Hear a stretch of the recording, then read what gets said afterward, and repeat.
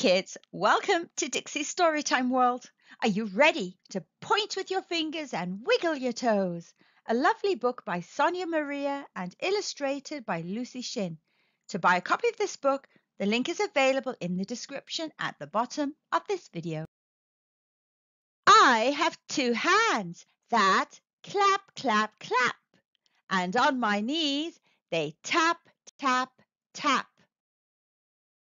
My hands wave hello and goodbye. Can yours do that? Why don't you try? I have two feet that stomp, stomp, stomp. I use them both to jump, jump, jump. They walk and run and skip in place they take me to my favorite space. I have two eyes that blink, blink, blink. I use just one to wink, wink, wink. And when I play peekaboo, I use them both to look at you. My ears hear things I cannot see, like when my dad sings just for me. I hear my dog bark, woof, woof, woof, and the clippity clop of my horse's hoofs. Two hands, two feet, two eyes, two ears. It seems my parts all come in pairs. But wait, sniff, sniff. What is that smell? I have a nose and it can tell.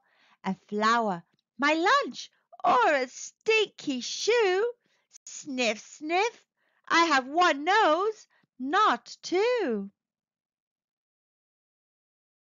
Below my nose I have a mouth. Hooray, hooray, I like to shout.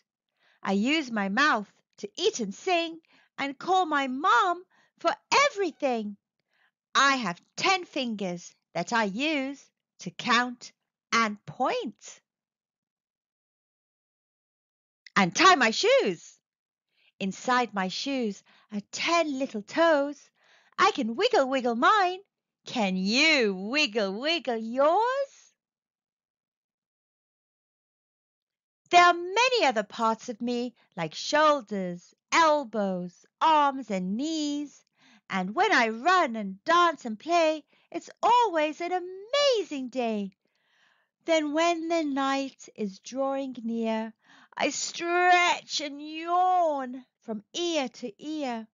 I rest my head to dream so sweet. Tomorrow is another treat. Good night. Thank you, kids, for listening and learning. Always remember to be good, polite, and kind.